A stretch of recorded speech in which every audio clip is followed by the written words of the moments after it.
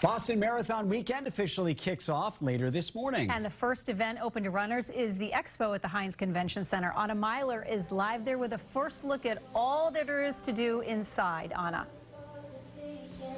And Kate, the expo is back for the first time since 2019. It's so exciting. This is where the runners will come pick up their marathon bibs starting this morning.